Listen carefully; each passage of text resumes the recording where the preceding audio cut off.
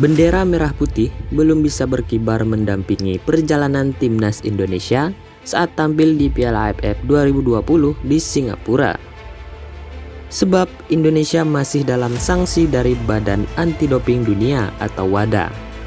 Pada 7 Oktober 2021, WADA menjatuhkan sanksi terhadap tim Badan Anti Doping Nasional dan dua asosiasi internasional termasuk LADI.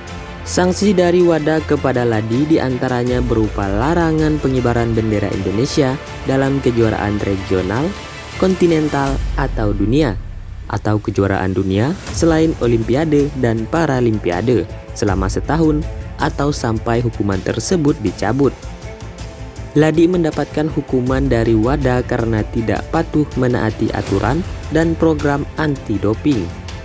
Piala AFF 2020 akan menjadi hajatan olahraga internasional setelah Piala Thomas dan Uber tanpa kibaran bendera merah putih. Sebagai gantinya, bendera federasi dalam hal ini PSSI yang akan dikibarkan. Sama halnya ketika tim bulu tangkis putra menjuarai Piala Thomas 2020 di Denmark. Imbasnya bendera merah putih tidak dapat berkibar ketika tim bulu tangkis naik ke podium dan diganti oleh bendera PBSI. Pelarangan bendera merah putih untuk dikibarkan telah terjadi ketika timnas Indonesia bertanding melawan China Taipei dalam kualifikasi Piala Asia 2023 di Thailand pada 7 dan 11 Oktober 2021. Tak hanya akan membuat bendera merah putih gagal berkibar di Piala AFF 2020, sanksi dari WADA juga membuat bendera Indonesia terancam tidak bisa berkibar di Piala Dunia U20 tahun 2023 jika persoalan serius ini tak segera diselesaikan.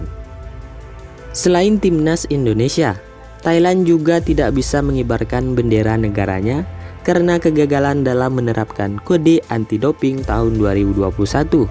Sebagai gantinya, tim Gajah Putih juga hanya bisa mengibarkan bendera Federasi Sepak Bola Thailand. Di sisi lain, Ketua Umum PSSI, Iriawan berharap timnas Indonesia dapat menjuarai Piala AFF meski tidak bisa menyebarkan bendera merah putih. Dan sampai saat ini, pihaknya masih menunggu keputusan resmi terkait pelarangan itu. Di Piala AFF, timnas Indonesia tergabung di grup B. Tim berjuluk skuad Garuda itu bakal menghadapi Vietnam, Malaysia, Laos, dan partai pertama timnas Indonesia akan berhadapan dengan Kamboja.